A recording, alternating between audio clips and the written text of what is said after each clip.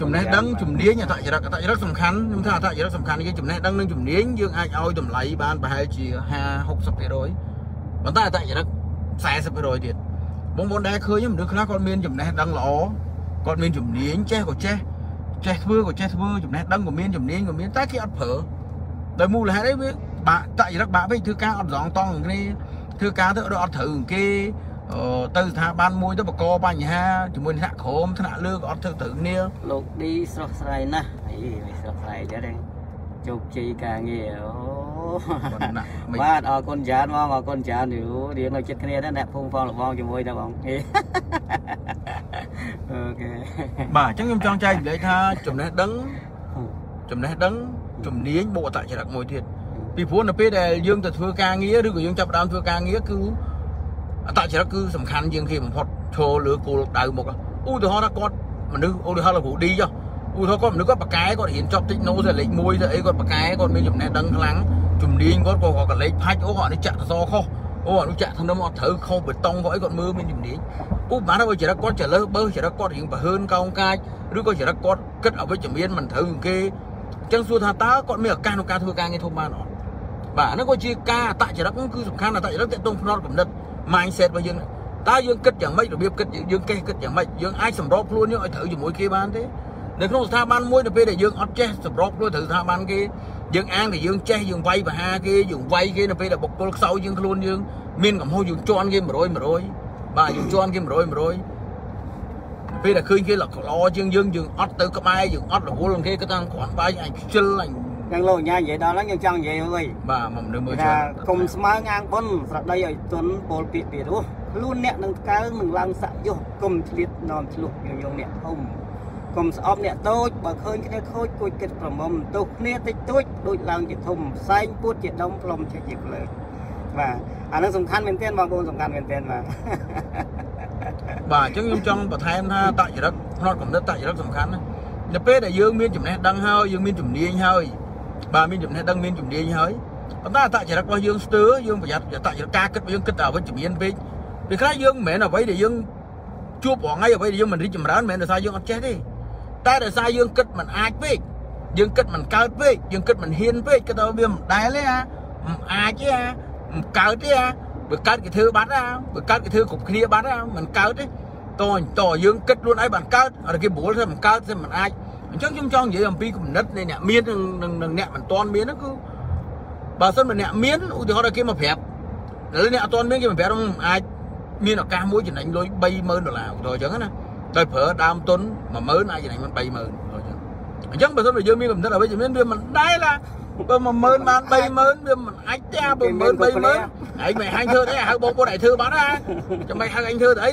យើងក៏បដិសេធកន្លែងហ្នឹងទៅអត់ខុសទេត្រូវយើងបដិសេធត្រូវ តែបើដូរកំណត់មួយទៀតឧទាហរណ៍បងប្អូនសាក់គិតកំណត់ខ្ញុំមួយទៀតណាប្រហែលកំណត់អ្នកមានមានអាការមួយមាន10000ចំណេញ30000ហើយអ្នកមានបងប្អូននឹងសួរថាម៉េចទេអូខេបងជួយបង្ហាញខ្ញុំមើលគេធ្វើម៉េចធ្វើម៉េចតើធ្វើម៉េចបង្ហាញសិនយកមកពិចារណាសិនគិតទៅសមហេតុសមផលទៅរួចអត់នៅពេលដែលយើងគិតថាអាចទៅរួចយើងមានឱកាសតែបើសិនបើអត់ទៅរួចយើងបដិសេធពេលក្រោយក៏បានដែរ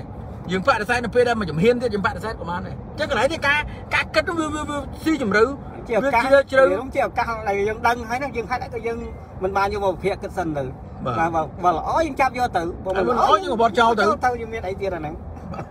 អញ្ចឹងបានបានបានការគិតហ្នឹងគឺសំខាន់មែនទេខ្ញុំរយៈនេះខ្ញុំមើលឃើញអ្នកខ្លះគាត់គិតអវិជ្ជមាននៅរស់ស៊ីវាមិនដែលទេតតែមានដើមទុន4យ៉ាងតតែមានលុយទុនឧទាហរណ៍ឥឡូវបើយើងនិយាយរស់ស៊ីឥឡូវយើង បកមកគិតអវិជ្ជមានហ្នឹងរស់ស៊ីតតែមានទុន4បានយើងរស់ស៊ីបានឧទាហរណ៍ថាឥឡូវតតែមានលុយ4យ៉ាងណា4យ៉ាងខ្ញុំមិនបាច់និយាយលំអិតទៀតទេគ្រាន់តែឧទាហរណ៍ថាឥឡូវ4យ៉ាងចុះដើម្បីមានលុយមានមានលុយដើម្បីចេញរកស៊ីបានយើងត្រូវមានដើមទុនបាទដើមទុនអញ្ចឹងដើមទុន4យ៉ាងយើងត្រូវការជួលកន្លែងទីតាំងអញ្ចឹងទីតាំងអស់10000ទាំងដេកទាំងអីទីតាំង10000ចុះបាទទីតាំង10000អត់ត្រូវការមានអីទៀតសគួរជួលបុគ្គលិក បុគ្គលិកមួយខែ2000អញ្ចឹងយើងសគួរវាប្រហែលជាមួយឆ្នាំបាទ20000ទៀតណាបុគ្គលិកមួយខែ2000មានបុគ្គលិកមាន HR មានអីមានអីមកកភ្លុះកភ្លាយសេមក structure ក្រុមហ៊ុនឯងមកកភ្លុះហ្នឹងទៅអញ្ចឹងមានតើការមាន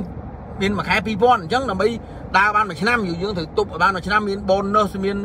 លុយលើកទឹកចិត្តមានលុយប្រាក់ខែបន្ថែមមានស្អីណាអីអីបាយបាយនេះបើ បងប្អូនតាមអត់តមកគេតទៀតបាទមិនដាច់អ៊ីនធឺណិតដាច់អ៊ីឧនធឺណិតទាហរណ៍ថាឥឡូវយើងត្រូវការយើងត្រូវការអញ្ចឹងតើតែមានដើមទុនតើតែមានត្រូវការអអបុគ្គលិកអញ្ចឹងមួយខែ2000អញ្ចឹងមួយឆ្នាំយើងត្រូវការមួយឆ្នាំ24000បុកនឹងដេកអហ្វីវា34000អូខេហ្នឹងបុគ្គលិកហ៎អញ្ចឹងយើងត្រូវមានលុយអីត្រូវមានលុយស្តុកបាទស្តុកតំណែងអញ្ចឹងស្តុកតំណែងយើងស្តុកហ៎តំណែងយើងយើងស្តុកអស់20000នេះចុះបាទអញ្ចឹង20000វាអស់4 2 34000អស់54000លោកគ្រូទិញ ដីស្រែតាមតំបន់តោះណាឥឡូវតោះតោះណាបាទនេះចាំនិតិយាចយអស់អទៅត់អីទេបាទបាទ4 54000ណាអញ្ចឹងយើងត្រូវការមានលុយស្តុកអីវ៉ាន់យើងទៀត54000ណាលុយវាយទីផ្សារបាទវាយទីផ្សារដើម្បីឲ្យដើរ boost page លុយ printing banner printing អីផ្សេងផ្សេងមានដីឡូដល់បន្តណាបន្តនេះចាំហើយចាំហើយចាំចប់នេះអានសរុបបាទលុយ printing លុយអីផ្សេងផ្សេងលុយធ្វើ marketing ផ្សេង10000នេះចុះបាទអញ្ចឹងវាអស់60000 70000ខ្ញុំថាយើងឃើញអស់70000ចុះ អូខេអញ្ចឹងដើម្បីយើងបើកអាជីវកម្មមួយយើងត្រូវការមានលុយ70000ដើម្បីឲ្យមានលុយស្តុកមានលុយមានលុយស្តុកមានលុយធ្វើទីផ្សារមានលុយជួលទីតាំងមានលុយទាំងអស់ត្រូវការ70000ឥឡូវសំណួរសួរថាឥឡូវឧទាហរណ៍ថាខ្ញុំធ្វើការឲ្យគេមួយខែបាន600ចុះណាយើងនិយាយតាមពិតជាទូទៅយើងនិយាយជាមធ្យមភាគ300ស្រុកខ្មែរយើង300 300ជាងហ្នឹងវាវាវាវារេងច្រើនវាមធ្យមភាគច្រើនតែឥឡូវខ្ញុំនិយាយដល់ថាខ្ញុំធ្វើការឲ្យគេមួយខែបាន600ចុះខ្ញុំធ្វើការឲ្យគេមួយខែបាន600 អញ្ចឹងខ្ញុំផាត់ចាយណាឥឡូវឥឡូវថាបងយើងធ្វើការឲ្យគេមួយខែបាន600អញ្ចឹងយើងផាត់ចាយបាទយើងផាត់ចាយយើងចាយអស់មួយខែអស់300ដុល្លារណាទាំងទាំងទឹកទាំងភ្លើងទាំងចាយអីកាពេកកពុកអាហ្នឹងអត់និយាយយើងឈឺអសនអន់ក្រម្ដងកាលទេអាហ្នឹងអ្នកប្រយ័ត្នបំផុតមួយខែក៏សល់300បាទមួយខែសល់300មួយខែ600មួយខែសល់300អញ្ចឹងមួយខែសល់300មួយឆ្នាំសល់3000 10ឆ្នាំសល់30000បាទមួយឆ្នាំសល់3000មួយខែសល់300 មួយឆ្នាំយើងថាមួយឆ្នាំ10ខែចុះកុំឲ្យថា2 10ខែយើងថាមួយឆ្នាំសល់3000 10ឆ្នាំសល់30000អញ្ចឹង20ឆ្នាំมันបានលុយ60000អញ្ចឹងយើងផ្សំធ្វើការគេ20ឆ្នាំក្រោយឥឡូវយើងអាយុ20ឆ្នាំចេញធ្វើការ20ឆ្នាំក្រោយអាយុ40ទើបយើងមានលុយ60000ចេញរកស៊ីបានទៅដើមទុនបាទដើមរកស៊ីបាទដើមទុនអញ្ចឹងយើងបានដើមទុនណាបាទចេញរកស៊ីថ្លៃផ្ទះជួលយើងគិត20ឆ្នាំមុនយើងគិតថាជួល10000គ្រាន់ ហេយើងគិតថាជួល10000គ្រាន់ទេអឺបុគ្គលិកយើងគិតថាថ្លៃជួល10000ដេក10000គ្រាន់តែ20ឆ្នាំក្រោយ10000អត់គ្រាន់ជួលផ្ទះមួយ1000 2000វាឡើង3 40000ទៀតណាអញ្ចឹងវាឡើងរហូតប្រាក់ខែបុគ្គលិកក៏ឡើងដែរអញ្ចឹងបងប្អូនជួយជួយឆ្លើយមកថាធ្វើម៉េចដើម្បីយើងធ្វើអាជីវកម្មបានណាបើមិនថាយើងគិតអវិជ្ជមានអញ្ចឹងតើធ្វើម៉េចទើបយើងអាចចាប់ផ្ដើមអាជីវកម្មបានយើងចាំពេលណាថ្ងៃនេះថ្ងៃស្អែកអាទិត្យនេះអាទិត្យក្រោយខែនេះខែក្រោយជាតិនេះឬជាតិក្រោយអញ្ចឹងខ្ញុំចង់ឲ្យបងប្អូនរំលឹកកន្កាលែรงសម្នេះរាប់ចិត្តរបស់បងប្អូននេះបាទការសម្រេចចិត្តអត់ត្រូវអត់ខុសទេគាត់ណាគេនិយាយត្រូវហើយដើម្បីធ្វើអាជីវកម្មបានយើងត្រូវមាននេះ4ប៉ុន្តែវាហាក់ដូចជាអឺអឺអឺទាញយើងក្នុងនាមយើងមិនមែនកូនអ្នកមានយើងម៉ែឪមានដល់ពេលណាទៅបាទម៉ែឪមានលុយលក់ដីបាទអរគុណចាលក់អីឲ្យទៅឲ្យ50000 60000រហូតលក់ផ្ទះម៉ែឪ5 60000ទៅអូបងពេនសុខសប្បាយបងពេន5 60000ទៅយើងចេះតែមានឱកាសក្នុងការចាប់ផ្ដើមអាជីវកម្មចុះសំណួរសួរថា ចុះយើងអត់មានអញ្ចឹងផងខ្ចីគេក៏អត់បានខ្ចីគេនាំជាប់បំណុលអញ្ចឹងសួរថាតើពេលណាទៅយើងមានលទ្ធភាពទៅមានលទ្ធភាពក្នុងការធ្វើអាជីវកម្មបាទអរគុណហើយយើងថាអាជីវកម្មធ្វើអាជីវកម្មអញ្ចឹងឲ្យបងប្អូនគិតបន្តិចតាមពិតអត់មានខុសមានត្រូវទេគ្រាន់តែយើងធម្មតាមុនចេញអាជីវកម្មទៅយើងរៀនសិនបាទបាទទៅយើងយល់ដឹងពីអាជីវកម្មចាំចេញរកស៊ីខ្ញុំក៏អត់រៀនអត់ណែនាំឲ្យបងប្អូនចេញទៅរកស៊ីដោយមិនយល់ដោយងងុលគាត់ទៅលឺគេថារកស៊ីចេញទៅរកស៊ីដោយងងុលទេបាទឧទាហរណ៍ថាគាត់ជាជាងថត បាទចុះថតថតរូបម្នាក់តែគាត់ពោលថតឲ្យគេជីវិតគាត់សុខដុមរមនាមួយខែគាត់បាន500ដុល្លារថតរូបឲ្យគេបានមួយខែ500ដុល្លារសុខដុមរមនាអញ្ចឹងគាត់ថតរូបគេមួយខែបាន500ដុល្លារស្រាប់តែគាត់ចេញទៅរកស៊ីគាត់អត់យល់ពីស្អីស្ថានកិច្ចនយោបាយអីគាត់បាត់ទឹកភ្នែកប្រពន្ធលេងប្រពន្ធអីទៅឧទាហរណ៍អញ្ចឹងបាទអាហ្នឹងយើងស្ដាប់មកទៅដូចមានច្រើនណាយើងស្ដាប់មកទៅដូចជាដូចជាឈឺចាប់ប៉ុន្តែឧទាហរណ៍បកមកវិញសួរថាទោះបើគាត់ចាប់ផ្ដើមជាអាជីវកម្មគាត់សិក្សាសិនទៅនៅពេលខ្លះប្រាក់ខែគាត់គេហ៊ានជួលគាត់500អញ្ចឹងសមត្ថភាពគាត់អាចលើ500ហើយបាទគាត់អាចចំណាអាចមកកាក់មកមកធ្វើការងារមួយរឿងអាចចំណេញលើប្រាក់ខែគាត់ផងក៏អាចដែរពីព្រោះខ្ញុំធ្លាប់បានចាប់ផ្ដើមអាជីវកម្មនៃការចាប់ផ្ដើមហើយអញ្ចឹងខ្ញុំណែនាំបងប្អូនរបស់គ្នាកុំចាំចេះអស់ចាំចេញរកស៊ីកុំចាំមានសពបែបយ៉ាងចេញរកស៊ីកុំចាំចេះអស់បានចេញរកស៊ីពីព្រោះមានន័យថាម៉េចចំណេះដឹងថ្ងៃនេះមិនប្រកាសថាមានប្រយោជន៍5ឆ្នាំក្រោយហើយខ្ញុំឧទាហរណ៍វិញឧទាហរណ៍ពីមុនបាទពីមុន អ្នកចេះ typing វាយលឿនអូវាយអត់ចេះ typing ចេះចេះអ៊ីនធឺណិតចេះ email ចេះ typing ចេះ word បាទបើកន្លែងវាយអត្ថបទបើកន្លែងអីវាយ word វាយ excel ចេះ typing ពឹបពឹបពឹបពឹបអ្នកណា typing បានលឿនអ្នកនោះងាយស្រួលមានឱកាសក្នុងការរកការងារធ្វើចឹងទៅបាទចូលរមកមកសម័យកាលទៀតអ្នកថៃភីងលឿនគេធ្វើយកហ្មងនេះស្ដីបងខ្ញុំចង់គេយកគេយកពីអ្នកចេះអ៊ីនធឺណិតអ៊ីមែល ចង់ដឹងវាអីនេះឈឺក្រង់នឹងឈីត្រង់ដឹងហ៎អានឡើយមកបើកឡានប្រាប់ផងបាទអរគុណមកមានសេវាវិញសេវាវិញអឺសូមឲ្យបងដែលខមមិននឹងជួយខមមិនម្ដងទៀតឲ្យច្បាស់ទេនេះជួយអានបន្ថែមព្រោះខ្ញុំបើកឡានខ្ញុំអត់ចង់អឺមើមើលលខ្ញុំចង់ដឹងអីគ្នាមើលដាច់មើលដាច់បាច់នេះយកគាត់ជួយខមមិនសេម្ដងទៀតវាទៀតបាទបាទអូខេអញ្ចឹងខ្ញុំបញ្ជាក់ប្រាប់ទៀតណាកុំកុំចាំចេះ គាត់ចេះថៃភីងគាត់វាយថៃភីងទៅដល់ពេលមកដំណាក់កាលទៀតគេរកបុគ្គលិកឡើងគេទៅចេះថៃភីងណែចេះអ៊ីនធឺណិតអ៊ីមែលផ្ញើអ៊ីមែលឲ្យភ្ញៀវអត់ចេះ check អ៊ីនធឺណិតចេះមើលអ៊ីមែលអត់បាទអញ្ចឹងការជំនាន់ធ្វើការហ្នឹងអ្នកចេះអ៊ីនធឺណិតអ៊ីមែលត្រូវត្រូវប៉ាន់ត្រូវបានខ្លាំងជាងអ្នកដែលគាត់ចេះអឺអឺអឺអឺគាត់តែចេះ typing typing អ៊ីនធឺណិតបែបខ្លាំងទៀតចូលដល់ដំណាក់កាលមួយទៀតបាទដំណាក់កាលមួយទៀតគេរកបុគ្គលិកដែលចេះ Photoshop ចេះអីកាត់តវីដេអូបាទអរគុណសេវាដាច់ដាច់បងប្អូនសេវាដាច់ដាច់បងប្អូនទួនសលេងច្បាស់ហើយបាទតទៀតអញ្ចឹងបន្តទៀតហើយវីដេអូនេះបងប្អូនអាចមើលឡើងវិញបានកន្លែងសេវាកាំងនោះវានឹងកាត់អូតូដរិចហ្មងអញ្ចឹងណាអញ្ចឹងខ្ញុំបញ្ជាក់ទៀតថាអូខេសម័យកាលបន្តមកទៀតយើងចេះអ៊ីនអ៊ីនធឺណិតអ៊ីមែល Photoshop ចេះអីដល់ពេលក្រោយបុគ្គលិកយើងអ្នកចេះលេងអនឡាញអ្នកចេះ Facebook អត់ចេះប្រើ Facebook អ្នកចេះប្រើប្រព័ន្ធ social media អត់អញ្ចឹងបកវិញសរុបសរុបស្ដីមកវិញ កុំចាំចេះអស់ចំណេះដឹងយើងថ្ងៃនេះឥឡូវបងប្អូនចេះប្រើ Facebook ខ្ញុំប្រើ Facebook បកកែខ្ញុំចេះ boost page ខ្ញុំចេះប្រើ Facebook តើបងប្អូនគិតថា5ឆ្នាំក្រោយនេះយើងចេះប្រើ Facebook ហ្នឹងនៅមានបាទអាចយកទៅប្រើបានទៀតអត់ពិភពលោកយើងប្រែប្រួលលឿនណាស់អញ្ចឹងកុំចាំចេះអស់កុំចាំត្រៀមអស់ចេះអស់ឥឡូវឧទាហរណ៍ថាខ្ញុំចង់ចេញរកស៊ីបាទចាំត្រៀមចេះអស់អញ្ចឹងទៅត្រូវរៀនអីខ្លះខ្ញុំចេះ account រៀន account 4ឆ្នាំទៅបាទបន្តទៀតខ្ញុំអត់ចេះធ្វើទីផ្សារ រៀនទីផ្សារ4ឆ្នាំទៀតមហាវិទ្យាល័យ4ឆ្នាំទៀតអញ្ចឹងបាន8ឆ្នាំខ្ញុំអត់ចេះគ្រប់គ្រងរៀនគ្រប់គ្រង4ឆ្នាំទៀតទៅអញ្ចឹងកន្លែងនេះខ្ញុំតែងតែ recommend មិនមែន recommend ទេបងប្អូនរៀនផងធ្វើការផងទៅរៀនបដាអនុវត្តបដាបាទរៀនបណ្ដាអនុវត្តបណ្ដាហើយកុំគិតថាអូយើងនាំទៅចេញរកស៊ីអស់តើស្អីអឺអឺយើងចេញនាំចេញរកស៊ីអស់តើពុនបានណាគេបងពុនប្រាក់ខែបុគ្គលិកបានណាគេបងបងប្អូនត្រូវយល់កន្លែងនេះមួយបាទមិនមែនពុនប្រាក់ខែបុគ្គលិកអត់មានបានណាគេបងហើយយើងនៅតែបងអត់ដែល តែយើងបងពុនលើប្រាក់ចំណេញយើងបងពុនទៅថ្លៃជួលអូហ្វីសយើងបងពុនទៅលើអឺអឺមានតារាងពុនណានៃក្រុមហ៊ុនរបស់យើងយើងនៅបងអត់ដែលអញ្ចឹងមានន័យថាម៉េចយើងកុំគិតអវិជ្ជមានពេកកុំគិតអវិជ្ជមានពេករហូតដល់លែងហ៊ានចេញរកស៊ីឬរហូតដល់គិតអវិជ្ជមានពេកសម្រាប់ជីវិតរបស់យើងជីវិតរបស់យើងគឺយើងជាអ្នកគ្រប់គ្រងកើតមកជាតិធាតមកចានអ្នកណាមិនចង់មានមិនចង់បានអ្នកណាមិនចង់រស់នៅឲ្យមានការទទួលស្គាល់អ្នកណាមិនចង់ឲ្យជីវិតយើងរស់នៅដោយល្អប្រសើរចង់ដូចគ្នា បាទប៉ុន្តែទៅពេលដែលយើងប្រើទ្រឹស្ដីខុសនៅពេលដែលយើងប្រើទ្រឹស្ដីវល់វល់ខុសទៅនាំឲ្យយើងចាប់ផ្ដើមពង្វេងយើងអត់ដឹងថាអូយើងគួរដើរផ្លូវណាអញ្ចឹងខ្ញុំចែកម្លែកបងប្អូននេះជាកំណត់របស់ខ្ញុំឯងចែកម្លែកបងប្អូនថាមានតែការចាប់ផ្ដើមឯងគ្មានណាគេដែលរស់ស៊ីមកចេះអស់ហើយខុសកន្លែងធ្វើណាទៅកន្លែងហ្នឹងជួបបញ្ហាកន្លែងណាយើងដោះកន្លែងហ្នឹងទៅបាទរៀនទៅយើងដោះទៅតែអាទាំងអស់វាជាមេរៀនរបស់យើងកំហុសធ្វើឲ្យយើងរីកចម្រើនកំហុសដដែលដដែលធ្វើឲ្យយើងបរាជ័យកំហុសមានពីរប្រភេទ កំហុសធ្វើឲ្យយើងកាន់តែរីកចម្រើនយើងខុសយើងកាន់តែរីកចម្រើនខុសឆ្លងមួយកាន់តែរីកចម្រើនតែបើយើងខុសអដែលអដែលឡើងចោលមិនទៀតសុទ្ធទេធ្វើឲ្យយើងបរាជ័យមកមកត្រូវគិតថាជីវិតរបស់យើងយើងនៅតែជួបបញ្ហារហូតចឹងនៅពេលដែលបងនៅរៀននោះបញ្ហាខ្ញុំបើគំនិតរបស់ខ្ញុំកាលខ្ញុំនៅរៀនតើបើរៀនចប់ធូរហើយជីវិតនឹងល្អប្រសើរជាងមុនណារៀនចប់តែពេលដែលយើងរៀនហើយយើងរៀនចប់ហើយយើងធូរអត់បាក់គ្របពីព្រឹកទៅរៀនអត់ពិបាកអញ្ចឹងទៀតទេរៀនចប់ប្រឡងមានសញ្ញាបត្រហើយធូរហើយបាទពេលរៀនចប់ហើយចូលដល់មហាវិទ្យាល័យ បាក់ជាងមុនទៀតកាលពីនៅរៀនថ្នាក់ទី12ណាអីដូចជាងស្រួលដល់ចប់មហាវិទ្យាល័យយើងបាក់ជាងមុនទៀតបាទគេដឹងចប់មហាវិទ្យាល័យហើយបានបញ្ញាធូរហើយបានបញ្ញាមកយើងមានយើងជាអីនិស្សិតយើងជានិស្សិតយើងជាអឺអឺបញ្ញាបត្រអីមកយើងមានបញ្ញាយើងមានអីហើយយើងមានសញ្ញាបត្រហើយផុតហើយជោគជ័យធូរហើយចប់ពីហ្នឹងមកត្រូវប្រកួតប្រជែងការងារពិបាកចេះនៅរៀនទៀតកាលមុននៅរៀនដល់ម៉ោងទៅរៀនទៅ បាទរៀនចូលរៀនឡើងទៅពេលដៃឆ្លងកាត់ដល់បទពិសោធន៍ជីវិតបញ្ញាបត្រជីវិតពិបាកជាងនឹងទៀត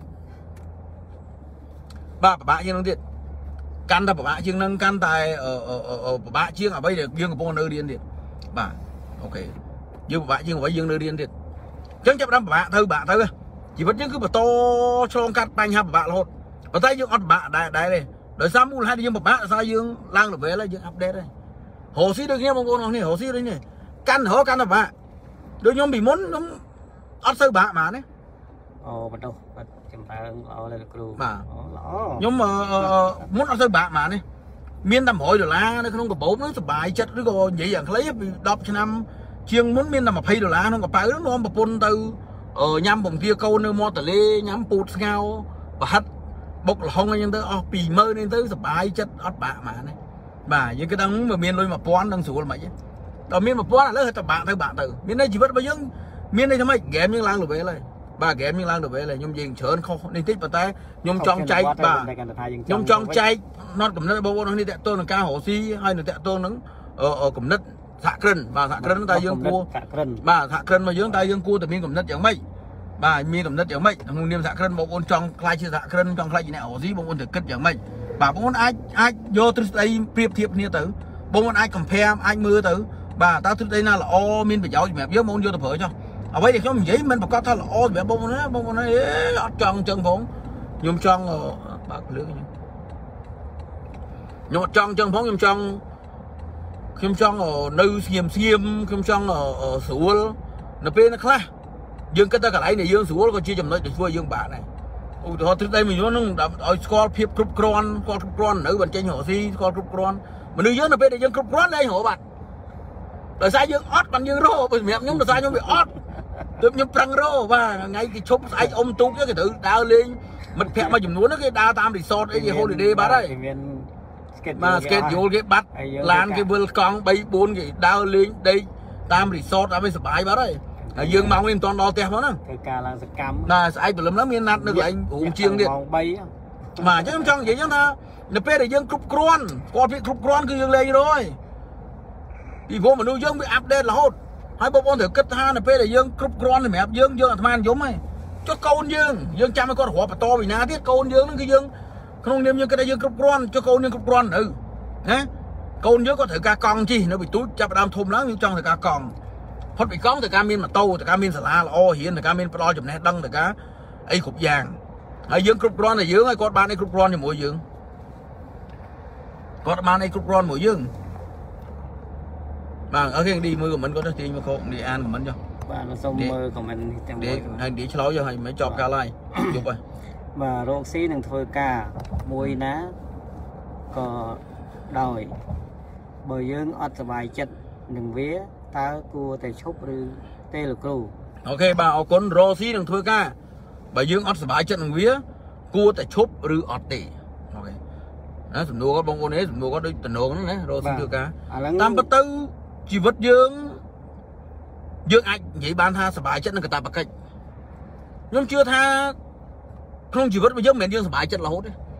មិនដូចក្នុងរឿងដែលគេនិយាយមកសេមកសុបាយចិត្តរហូតវាមានផ្អែមមានជូរមានចត់មានល្វីងបាទមានជូរមានចត់មានល្វីងសំខាន់គោលដៅយើងយើងរស់នៅដោយសុបាយចិត្តឬក៏យើងរស់នៅដោយគោលដៅនៅពេលដែលយើងគោលដៅកាន់តែធំយើងនឹងធ្វើការមួយមនុស្សកាន់តែច្រើនមនុស្សកាន់តែច្រើនគំនិតកាន់តែច្រើនកំណត់កាន់តែច្រើនមិនមែនមានអ្នកខ្លះកំណត់ស្របយើងទេ អ្នកខ្លះមកធ្វើការជាមួយយើងហើយលួចតាំងបុគ្គលិកលួចតាំង system លួចតាំងអីយើងទៅទៅអស់បាទអ្នកខ្លះហើយចាក់យើងវិញទៀតអញ្ចឹងខ្ញុំជឿថាភាពរឹងមាំផ្លូវចិត្តទេបាទអញ្ចឹងចម្លើយខ្ញុំឆ្លើយថាធ្វើការដោយរស់ស៊ីដោយអត់សុបាយចិត្តយើងគួរសម្រាប់អត់សំខាន់ទីមួយយើងសួរមើល goal យើងសិនតើគោលដៅយើងចង់បានអីអត់គោលបំណងយើងត្រូវនឹងអត់ប៉ុន្តែមានពាក្យមួយដែលខ្ញុំតែងតែទិញនេះធ្វើយើងសុបាយចិត្តណា do what you love and love what you do ស្រឡាញ់អ្វីដែលយើងធ្វើហើយធ្វើអ្វីយើងស្រឡាញ់ទៅ នៅពេលយើងអត់សូវស្រឡាញ់អត់សូវសុបាយចិត្តបដោះឲ្យយើងចេះសុបាយចិត្តនឹងការងារទៅឧទាហរណ៍ថាខ្ញុំមកខេតមកអីឡើងចុះអញ្ចឹងទោះតែហត់ហត់ដូចគ្នាតែយើងសុបាយចិត្តអីយើងបានជីដើរលេងអ្នកខ្លះមួយឆ្នាំមិនទាន់បានចេញមកខេតម្ដងហើយយើងមកខេតដូចស៊ីបាយហ្នឹងយើងវិលល្ងាចបាទវិលល្ងាចក៏មានយើងមកខេតក៏មានស្អែកឡើងទៅអញ្ចឹងមានន័យថាយើងបដោះអាកំណត់អស់ហ្នឹងឯងធ្វើឲ្យយើងស្រឡាញ់មកយើងធុញអូយធុញណាគេសម្រាក់យើងជិះឡានចុកខ្នងចុកចកេះ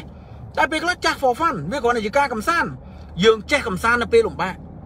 យើងចេះឲ្យខ្លួនយើងសុបាយពេលលំបាកគ្មានជីវិតណាសុបាយរហូតទេខ្ញុំជឿថាបងបងប្អូនអ្នកកំពុងតែមើលនេះខ្ញុំជឿថាជីវិតក៏មានណាសុបាយរហូតដែរខ្ញុំក៏មិនសុបាយរហូតដែរវាមានទុកកង្វល់មានបបេកបបាក់ខ្លះអីខ្លះប៉ុន្តែចេះសុបាយចិត្តនៅពេលដែលខ្ញុំជួបបញ្ហា